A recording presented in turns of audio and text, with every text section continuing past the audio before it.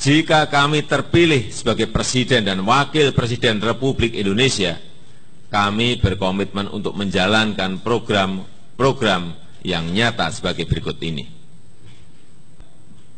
Meningkatkan anggaran penanggulangan kemiskinan, termasuk di sini memberikan subsidi satu juta rupiah setiap bulannya untuk keluarga prasejahtera sepanjang nanti pertumbuhan ekonomi Indonesia di atas 7 persen. Perbaikan 5.000 pasar tradisional di seluruh Indonesia dan membangun pusat pelelangan, penyimpanan, dan pengolahan ikan. Menurunkan tingkat pengangguran dengan menciptakan 10 juta lapangan kerja baru selama lima tahun dan bantuan dana 10 juta per tahun untuk UMKM atau koperasi.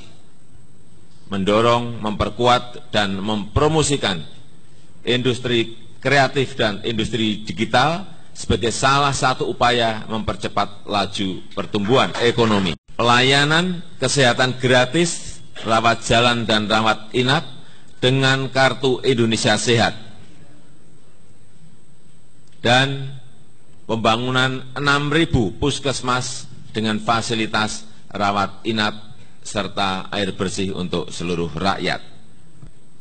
Membantu meningkatkan mutu pendidikan pesantren guna meningkatkan kualitas pendidikan nasional dan meningkatkan kesejahteraan guru-guru pesantren sebagai bagian dari komponen pendidik bangsa.